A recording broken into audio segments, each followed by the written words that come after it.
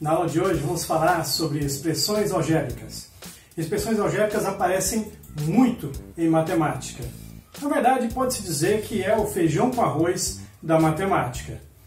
É, se você não faz ideia do que é, vamos dar uns exemplos. Por exemplo, x ao quadrado é uma expressão algébrica. É, x mais 3x é uma expressão algébrica também. x ao quadrado mais x mais 4 é uma expressão algébrica.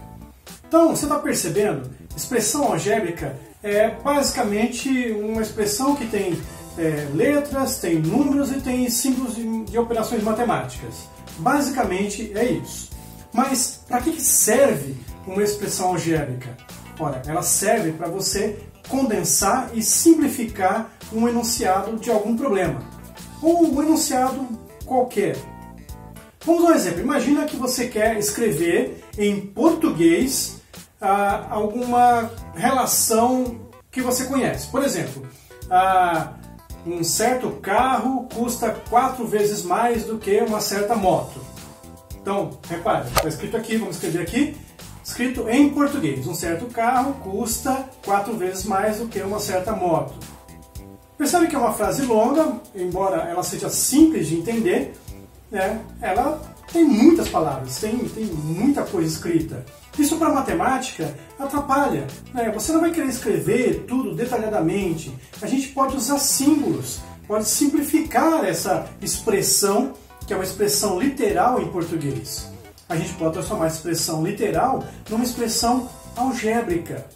Então vamos transformar isso aqui numa expressão algébrica. Vamos chamar o preço do carro de Y. E vamos chamar o preço da moto de X. Então, o preço do carro, Y, é igual a 4 vezes o preço da moto, X. Y é igual a 4 vezes X. Perceba que é muito mais enxuto. É a mesma verdade o que está escrito na expressão algébrica aqui. É a mesma coisa que estava escrita lá na expressão literal, só que na expressão algébrica a coisa está bem mais simplificada e bem mais fácil de visualizar. Essa é a ideia por trás da expressão algébrica. Simplificar o enunciado para que você possa trabalhá-lo e chegar a algum resultado. Ajuda muito. Vamos a um outro exemplo. Imagine que você quer calcular a área de um quadrado. A área de um quadrado é um lado elevado ao quadrado. Muito bem, então podemos escrever isso em português, né? A área de um quadrado é igual a um de seus lados elevado ao quadrado. Ou então a gente pode criar uma expressão algébrica. A é igual a x ao quadrado, onde x representa um lado do quadrado. Percebeu como a expressão algébrica simplifica bastante? Vamos usar mais um exemplo para terminar. Imagine que você quer calcular a área de um trapézio. Vou colocar aqui a figura que é o trapézio, caso você não se lembre. Então, tá vendo? Ele, o trapézio ele tem uma base maior, tem uma base menor ali em cima, ele tem uma altura e a gente vai usar essas informações para calcular a área do trapézio.